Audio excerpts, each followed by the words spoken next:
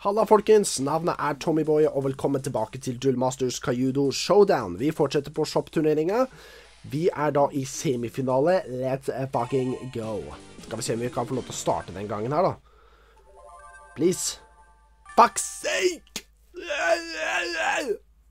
Jeg føler det er så At når jeg ikke tar opp, når jeg bare tar dueller bare for å prøve å få litt flere kort og sånt noe, så føler jeg at jeg får så da, da, da, da, føler jeg at jeg får lov til å starte et par ganger, men når jeg er med i turneringer og sånt nå, så får jeg nesten aldri lov til å starte.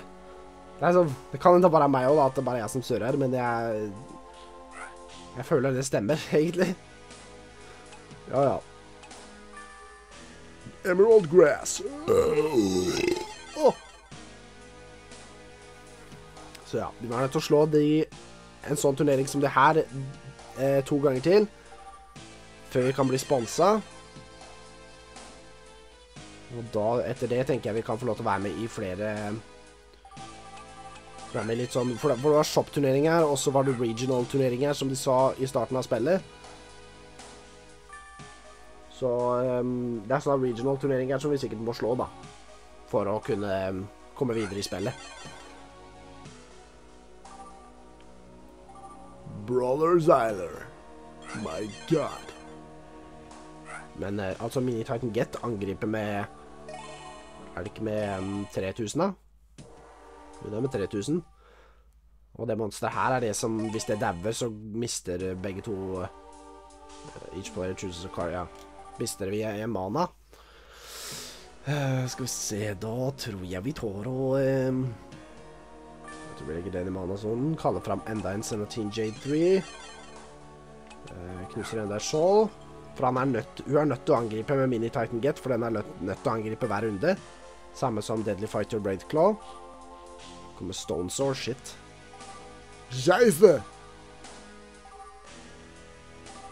Nå har vi for så vidt en uh, Jeg har en liten plan på hvordan jeg kan bli kvitt den. Markerer vi med Xenotin J3.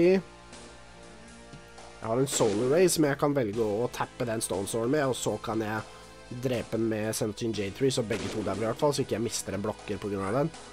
Jeg tror vi tar og gjør det, ja. Nå fikk jeg enda en Solar Ray. Ja, ja, da kaster vi begge to, da. Da får vi drept, uh, får vi drepe Brawler Sider også. I hvert fall tappe den. Og tappe Brawler Sider, sånn. Og så offrer vi en Xenotin J3 for å drepe Stone Sore.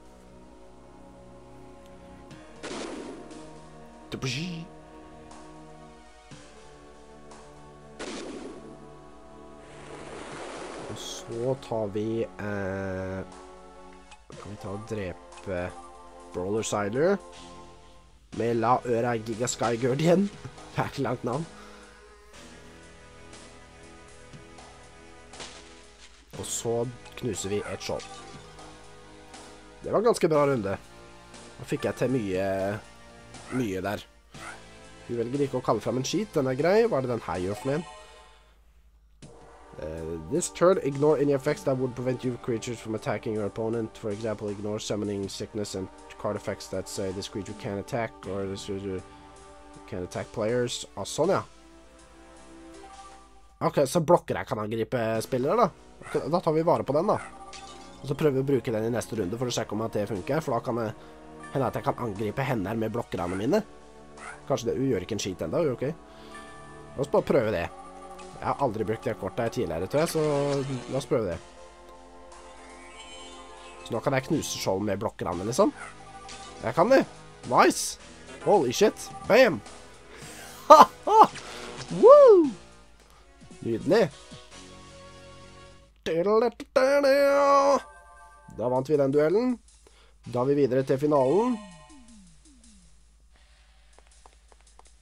At vi klarer å vinne den shop-turneringa, for da trenger vi bare å vinne én til, og så kan vi bli sponsa. Eh, ja, det var da slutten på denne videoen, folkens. Eh, hvis dere likte det dere så, og gleder dere til å se mer, så definitivt legg igjen en like. Det setter jeg utrolig pris på, og det hjelper kanalen utrolig mye. Gjerne også abonner, for på den måten kan jeg se dere i neste video slash livestream. Ha det bra, folkens.